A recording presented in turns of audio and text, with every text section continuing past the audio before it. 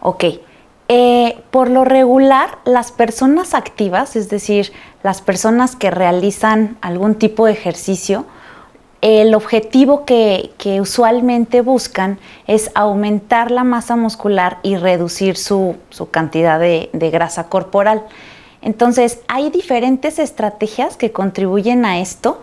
Eh, la dieta sí tiene un peso muy importante, de hecho se puede decir que el mayor peso, pero debido a, otras evidencias científicas se ha demostrado que otro de los elementos indiscutibles e indispensables es el ejercicio, pero no cualquier ejercicio, sino el ejercicio de fuerza. Entonces, este ejercicio de fuerza tiene que tener ciertas características y contribuye también a un fuerte porcentaje para tener una adecuada composición corporal. Sí. Eh, Mm, existe sí mucha, mm, digamos, desinformación o quizá información que, pues, que se nos ha transmitido por algunos, pues quizá pues personal de algunos gimnasios o en general pues tras lecturas que tenemos y sí eh, creo que está mucho en nuestra mente como esta parte de realizar un ejercicio pues extenuante que si no sudamos no tenemos ese resultado que estamos buscando pero bueno, creo que esto ha quedado un poco atrás, o sea, no depende de si sudas o no el, pues el gasto que tienes. Y ahora la propuesta es que el cardio es una parte, pero un, el ejercicio de fuerza, o sea, tal cual, cargar pesas, ir al gimnasio, ese debe ser una parte esencial de cualquier tipo de ejercicio. O sea, no debe quedar fuera, siempre debe estar incluido en una rutina de ejercicios. Se denomina recomposición corporal al hecho de aumentar la masa muscular o de buscar el aumento de la masa muscular y reducir la masa grasa o la grasa corporal. Ese es la, el concepto. Cuando se busca la recomposición corporal, usualmente es porque la persona busca bajar de peso, pero creo que es un concepto que le abona mucho a los beneficios en salud. Por ejemplo, alguien puede bajar de peso y si solo se toma en cuenta el peso total, no se sabe muy bien esa pérdida de peso de qué fue, de grasa o de músculo. Sin embargo, la recomposición corporal lo que propone es que trae beneficios a la salud y al rendimiento. Es decir, en esta recomposición corporal se buscaría pues que en esa pérdida de peso la pérdida sea pues de preferencia de grasa en su mayor totalidad y más bien no haya una pérdida de, masa muscular, sino se mantenga o, o, en esta parte de recomposición corporal aumente un poco. Y bueno, todo esto va a depender mucho del nivel de entrenamiento de la persona, de su ingesta, de cómo come y muy importante, de cómo está desarrollando su ejercicio de fuerza. Eh, cuando se busca la recomposición corporal en términos de dieta, eh, la propuesta es que la ingesta o el consumo de proteínas, cuando hablamos de proteínas nos referimos a el consumo de productos de origen animal, leche, huevo, queso, ese consumo vaya, o sea, sea un, sea un consumo de moderado a alto. Es decir, que quizá las kilocalorías o una buena parte de las kilocalorías consumidas tenga un buen aporte de proteínas de buena calidad. Esas serían las características. ¿Qué es? Eh, una proteína de buena calidad se denomina aquella que tiene aminoácidos grasos esenciales, es decir, eh, pues sí, aminoácidos que tienen un buen aporte de, amino, de perdón, proteínas que tienen un buen aporte de aminoácidos de muchos tipos, digamos, una buena cantidad.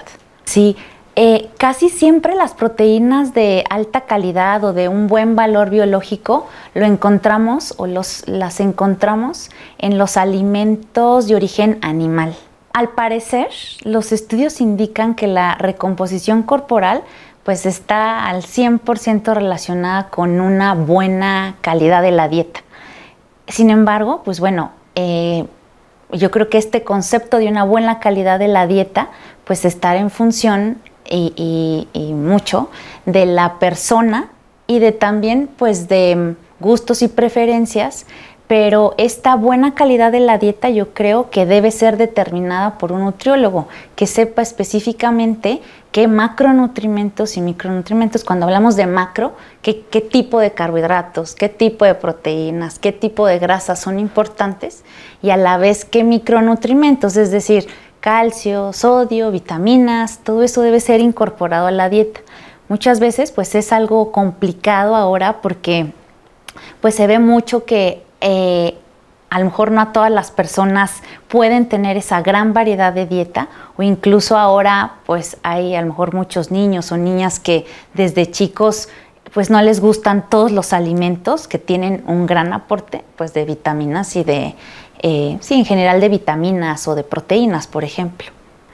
Eh, yo creo que la recomposición corporal, si hablamos de estos dos elementos principales que son la dieta y el ejercicio, digamos que no es como que tenga un 50 y un 50, un 60, un 40, sino más bien eh, deberán estar los dos muy, tanto la dieta, que sea una dieta muy adecuada, de, de buena calidad, como que el ejercicio tenga todas estas características que, que ayuden a aumentar la masa muscular. Entonces digamos que los dos en conjunto tienen un aporte muy fuerte digamos que este porcentaje pues no está todavía muy definido. De hecho, el tema de la composición corporal requiere aún más estudios. Hay diferentes estudios con diferentes poblaciones que todavía no hay algunas pautas concretas que nos digan, bueno, eh, se necesita, no sé específicamente qué tipo de ejercicios o qué tipo de dieta, pero en general es esto, o sea, una dieta con un moderado alto aporte de proteína de buena calidad, es de lo que se sabe, y que el ejercicio sea un ejercicio de fuerza progresivo, es decir, que se vaya aumentando el peso, el esfuerzo, y que este ejercicio pues se vaya también monitoreando para que justo esa progresión se vaya dando. Así es, em, todas las dietas equilibradas y adecuadas tienen de entrada un porcentaje de acuerdo a, pues justo a esa, una dieta equilibrada, es decir, los carbohidratos, de un 100% de una dieta adecuada, pues pueden ir entre 60 o 40 según los objetivos de la persona. ¿No? Las proteínas, bueno, lípidos, por ejemplo, un 30% y el resto de proteínas. Entonces, digamos que ya de manera, pues ya muy conocida, digamos, en el medio de la nutrición, se reconocen estos porcentajes. Ya todos estos cambios, si aumenta la cantidad de proteína o aumenta la cantidad de grasas y se disminuyen los carbohidratos, todo esto son estrategias nutricionales que se hacen para ciertas personas que quizá tienen cierta patología o se hacen estos cambios también pues buscando cierto fin en la persona. Eh, justamente yo creo que este tema de la, hipertrofia muscular o de la masa muscular está cobrando bastante, eh, bastante importancia porque de hecho se le atribuyen ya funciones que antes no habían sido estudiadas. Es decir, el tener una buena calidad de masa muscular, una, buena cantidad de masa muscular, es lo más saludable que puede existir ahora. Sí, para, de hecho, para tener un envejecimiento exitoso, para ser alguien saludable, joven, desde niño, o sea, la masa muscular es muy importante. Yo creo que para mí como nutrióloga es de lo más importante que hay que cuidar y hay que alimentar. ¿Cómo la alimentamos? Teniendo un buen consumo de proteína y que no puede faltar el ejercicio de fuerza, las pesas, el gimnasio. Eso es fundamental. Yo creo que si, pensamos en buenas prácticas de alimentación, em, si, lo vemos como algo progresivo, como, como si estuviéramos en una escalera, digamos que la base empieza eh, teniendo una buena variedad en la dieta. Eh, con esa buena variedad, pues le vamos dando pues mayor insumos, mayores insumos a nuestro cuerpo. Y si vamos progresando en esta escalera, pues esa buena variedad, al mantenerla en el día a día, pues también contribuye a tener buenos hábitos de alimentación. Entonces yo creo que lejos o a lo mejor de tener como un plan de alimentación así muy estricto o muy perfecto en cantidad de, carbohidratos o de proteínas o de, grasas, yo creo que eh, es, es muy importante revisar revisar con un nutriólogo, pues qué hábitos estamos manteniendo, qué hábitos estamos alimentando día a día para empezar con pequeños pasos a mejorar esos hábitos. Y ya posteriormente pues ya se va pues construyendo una mejor alimentación en el día a día, pero creo que hay hay acciones muy sencillas como quitarnos algunos alimentos, aumentar, por ejemplo, el consumo de agua, o sea, pautas muy sencillas que podemos incorporar en el día a día y que son pues los primeros escalones para seguir avanzando en pues en esta dieta correcta. Sí, em, el sueño, justamente, creo que todavía no lo habíamos abordado así como con, con esta importancia también, pero el sueño em, es un factor determinante, por ejemplo, en la construcción de la masa muscular.